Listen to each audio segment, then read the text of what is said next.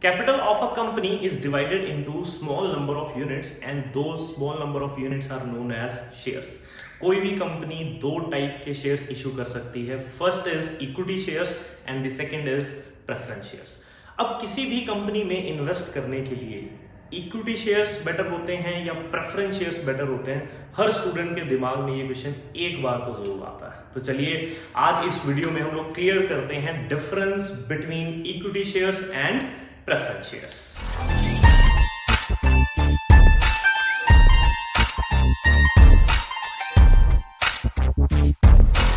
इसको समझते हैं फॉर एग्जांपल एक कंपनी है Skylight Edu Services Private Limited और ये कंपनी दो टाइप्स के शेयर इशू करती है।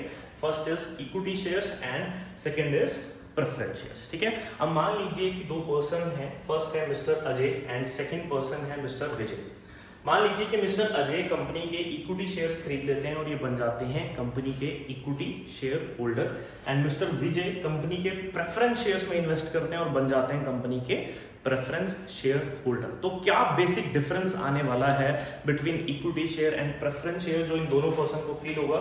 लेट्स सी तो फ़र्स्ट पॉइंट है हमारे पास डिविडेंड एंड डिविडेंड में सबसे पहला पॉइंट आता है राइट टू डिविडेंड कि किसको डिविडेंड पहले मिलेगा? मिस्टर अजय को या मिस्टर विजय को? ठीक है? तो इसमें सबसे पहले डिविडेंड क्लियर करने से पहले मैं बताता हूँ कि प्रेफरेंस का मीनिंग क्या है? प्रेफरेंस क्या है? प्रेफरेंस मीन्स प्रायोरिटी प्रायोरिटी का मतलब कि किसी को एक फ़र्स्ट एडवांटेज दी जाए, है ना?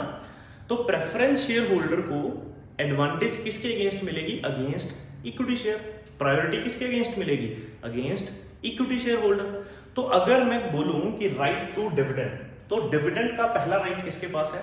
डिविडेंड का पहला राइट कौन होल्ड करता है? प्रेफरेंस शेयर होल्डर तो हमारे जो प्रेफरेंस शेयर होल्डर होते हैं, वो एक राइट right एंजॉय करते हैं अगेंस्ट इक्विटी शेयर होल्डर कि डिविडेंड पहले प्रेफरेंस शेयर होल्डर को पे किया जाएगा। After that preference share holders को पेमेंट करने के बाद डिविडेंड पे किया जाता है इक्विटी शेयर होल्डर ठीक है? जिनको डिविडेंड नहीं पता तो मैं बता दूँ कि सिक्योरिटीज के ऊपर जो इनकम होती है, उसको डिविडेंड बोला जाता है। जैसे लोन या मॉडगेज या इन चीज़ों के ऊपर इंटरेस्ट होता है तो इसी तरीके से सिक्योरिटीज के ऊपर डिविडेंड होता है। तो शेयर होल्डर जिन्होंने इन्वेस्टमेंट की है डिविडेंड उनके लिए इनकम ठीक है जी? तो राइट टू डिविडेंड कौन एंजॉय कर रहा है? प्रेफरेंस शेयर होल्डर्स को एक राइट right मिलता है कि उनको डिविडेंड पहले मिलेगा before it is paid to equity share holders and equity share holder को पेमेंट जो होती है डिविडेंड की, वो आफ्टर प्रेफरेंस शेयर होल्डर मिलती है। चलिए next point is rate of dividend now the rate of dividend is fixed in case of preference shares preference shares के केस में रेट ऑफ़ डिविडेंड फिक्स है and in case of equity shares it is decided by the board of directors in annual general meeting and it is approved by the equity share holders की जो भी dividend announce होने वाला है। वो dividend पहली बात तो बोर्ड ऑफ़ डायरेक्टर्स अनाउंस करेंगे, वो फिक्स नहीं होता कभी भी। जैसे प्रेफरेंस शेयर होल्डर को फिक्स रेट ऑफ़ डिविडेंड मिलेगा, कि अगर 10 परसेंट फिक्स कर दिया तो 10 परसेंट ही रहेगा। कंपनी के सरप्लस चाहे कितने भी ज़्यादा हो जाए 10 से वो 11 नहीं होगा, ठीक है? लेकिन इक्विटी शेयर होल्डर के केस में जो रेट ऑफ़ डिविडेंड है, वो वेरी करेगा, जो बोर्ड ऑफ़ डायरेक्टर्स डिसाइड करेंगे और उसको अप्रूव करते हैं खुद equity share holders in annual general meetings ठीक है? अब होता क्या है कभी कभी ऐसा भी होता है कि इक्विटी शेयर होल्डर्स को डिविडेंड ना मिले, ये भी हो सकता है, ठीक है? कि कंपनी डिविडेंड देने के बजाय अमाउंट को रिटेन कर ले और उसको फर्दर कहीं पे इन्वेस्ट करे तो हायर रिटर्न्स के साथ कंपनी इनको डिविडेंड अनाउंस कर दे, ये चीज़ भी हो सकती है, ठीक है? So next point is arrears in dividend कि क्या होगा अगर किसी भी फाइनेंशियल ईयर में कंपनी प्रॉफिट सरप्लस की जगह अगर लॉस में चलेगी तो डिविडेंड देंगे या नहीं? जैसे इंटरेस्ट इंटरेस्ट होता है इंटरेस्ट हमारी फाइनेंशियल ऑब्लिगेशन होती है कि चाहे कंपनी लॉस में हो, चाहे प्रॉफिट्स में इंटरेस्ट हमें पे करना ही पड़ता है क्योंकि हमने पढ़ा है कि वो चार्ज अगेंस्ट प्रॉफिट होता है है ना? तो सर डिविडेंड का क्या? क्या हम अगर लॉस होता है डिविडेंड देंगे? तो बेटा जी, हम लोग एरियर्स ऑफ़ डिविडेंड यानी कि अगर इस साल फॉर एग्जांपल 2019-20 में कंपनी को लॉस हो जाता है तो लॉस हो जाता है कंपनी डिविडेंड नहीं दे पाती, ना इक्विटी शेयर होल्डर्स को, ना प्रेफरेंस शेयर होल्डर्स को। अब आप कहोगे कि सर प्रेफरेंस का तो फिक्स था, बिल्कुल था। तो नेक्स्ट फाइनेंशियल ईयर जब आएगा, उस टाइम पे अगर कंपनी प्रॉफिट्स में आ जाती है सरप्लस में आ जाती है तो कंपनी करंट ईयर का डिविडेंड तो पे करेगी। प्रेफरेंस शेयर होल्डर को। इसके साथ साथ जो एरियर्स हैं, यानी प्रीवियस फाइनेंशियल ईयर का जो डिविडेंड होगा, वो भी प्रेफरेंस शेयर होल्डर्स को पे किया जाएगा। लेकिन इक्विटी शेयर होल्डर्स के पास ऐसा कोई भी राइट नहीं होता कि वो डिविडेंड क्लेम कर सकें। यानी एरियर्स जो हैं डिविडेंड के, वो प्रेफरेंस शेयर होल्डर्स को पे किए जाते हैं, लेकिन इक्विटी शेयर होल्डर्स को पे नहीं किए जाते। चलिए नेक्स्ट पॉइंट है convertibility now preference share holder एक राइट एंजॉय करते हैं जो कि कन्वर्टिबिलिटी का है कि वो अपने प्रेफरेंस शेयर्स को इक्विटी शेयर्स में कन्वर्ट करा लेते हैं। लेकिन हमारे इक्विटी शेयर होल्डर्स ऐसा कोई राइट रिज़र्व नहीं करते, कोई इंजॉय नहीं करते कि उनके पास ऐसा कोई राइट नहीं है कि वो इक्विटी शेयर्स को प्रेफरेंस शेयर्स में कन्वर्ट करा सकें। ठीक है? अब एक और चीज़ एडिशनल मैं यहाँ पे आपको बताना चाहूँगा कि कंपनी के पास ओनली इक्विटी शेयर्स हो सकते हैं। ठीक है? Equity shares plus preference shares हो सकते हैं, लेकिन कोई भी कंपनी ओनली प्रेफरेंस शेयर्स कभी भी इशू नहीं कर सकती, ठीक है? तो कंपनी को हमेशा इक्विटी शेयर्स के साथ प्रेफरेंस शेयर्स इशू करने होते हैं, या फिर ओनली इक्विटी शेयर्स इशू करने हैं, लेकिन only preference shares company issue नहीं कर सकती। एक छोटी सी अगर मैं बात बोलूँ प्रेफरेंस क्या है? Priority priority against equity shares अगर इक्विटी शेयर्स नहीं है तो प्रायोरिटी किस चीज़ की? है ना? तो नेक्स्ट पॉइंट हम लोग करते हैं कन्वर्टिबिलिटी के बाद redemption that is repayment now what is redemption redemption का मतलब होता है एक फिक्स्ड टाइम पीरियड के बाद पेमेंट वापस कर दी जाती है। ठीक है?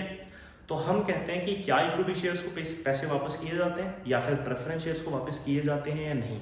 तो सबसे पहली चीज़ कि जिस वक्त शेयर्स इशू किए जाते हैं, उसी वक्त ये टर्म डिसाइड होती है कि वो जो शेयर्स हैं प्रेफरेंस शेयर्स जो हैं, वो रिडीमेबल हैं या नहीं। ठीक है? कि जो प्रेफरेंस शेयर होल्डर होते हैं सॉरी प्रेफरेंस शेयर जो होते हैं, वो रिडीमेबल होते हैं बट एक फिक्स्ड पीरियड के बाद और वो जो रिडम्शन होनी है, उसकी सारी की सारी terms and condition at the time of issue of shares issue of preference shares वो टर्म्स डिसाइड हो जाती हैं।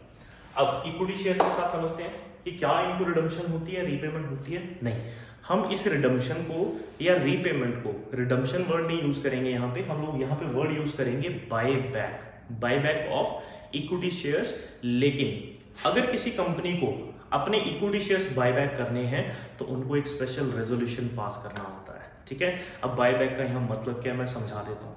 फॉर एग्ज़ाम्पल कि एक कंपनी की जो शेयर कैपिटल है, मान लीजिए वो है फिफ्टीन लाख रुपीज़ और उनकी जो रिक्वायर्ड कैपिटल है, कि जितने में उनका अच्छे से बिज़नेस रन हो जाता है वो है ट्वेल्व लाख रुपीज़ अब कंपनी के थ्री लाख एक्स्ट्रा शेयर्स जो है वो मार्केट में है, जिसके ऊपर कंपनी को डिविडेंड पे करना पड़ता है। तो कंपनी डिसाइड करती है कि क्यों ना हम ये थ्री लाख के इक्विटी शेयर्स को बाय बैक कर लें, खुद ही दोबारा से खरीद लें।